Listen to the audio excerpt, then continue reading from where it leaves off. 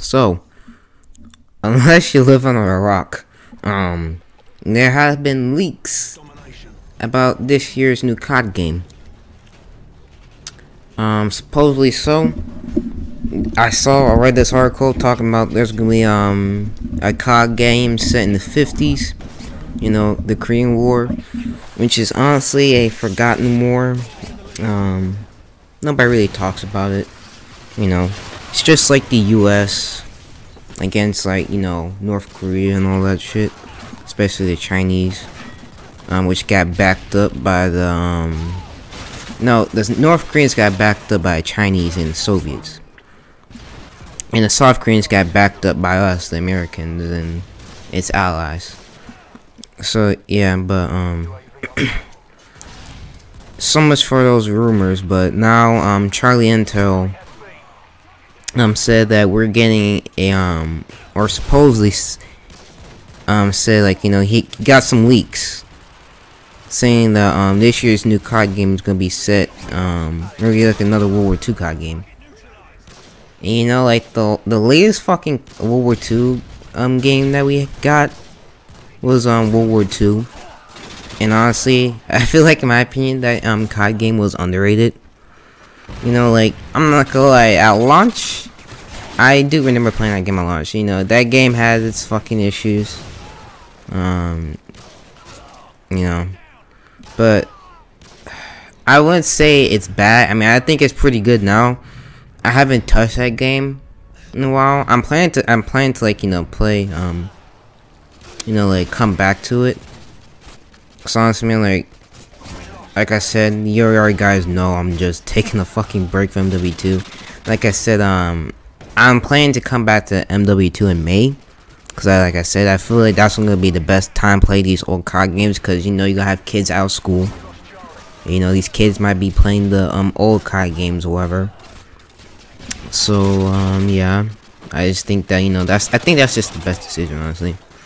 But not only that, like these COD games, like my friend um Good Shot told me like how these COD games like they change, they change differently over the months.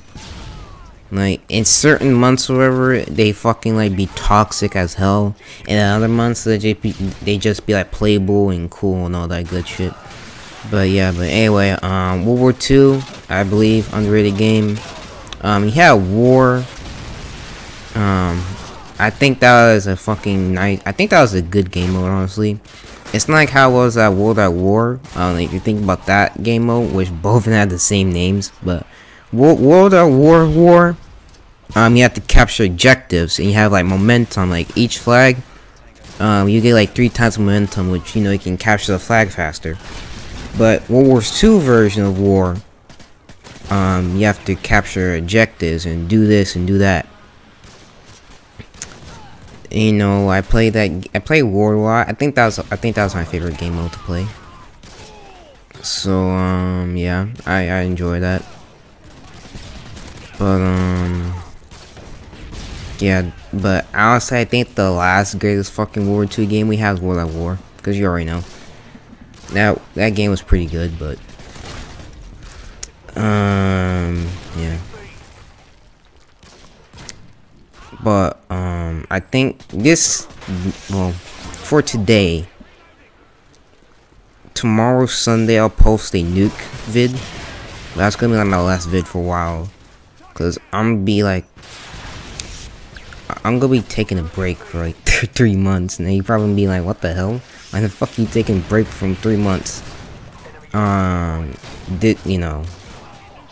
I'm not doing well in school right now. I'm kind of fucking behind. And, you know, I'm not like a multitask person. I can do my homework and fucking you know YouTube at the same time. So yeah, and also it's also some personal issues too. So yeah. But, um, yeah. Um, three months. Uh, probably in May I might come back to YouTube, but, um, I know I still I'll still be talking on you know Lime's videos and all that shit, but I'm just gonna be posting videos for a while. So um yeah, but um this wraps up this commentaries video. Um, make sure to hit the like and the subscribe button.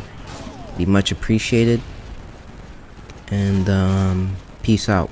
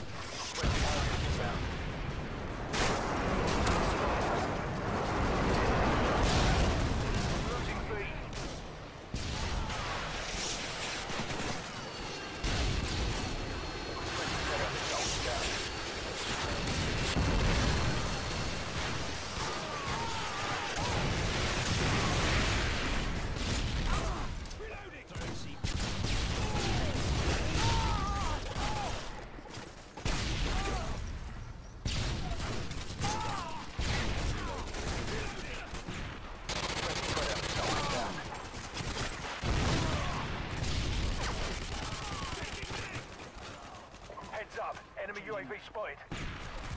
Losing Bravo.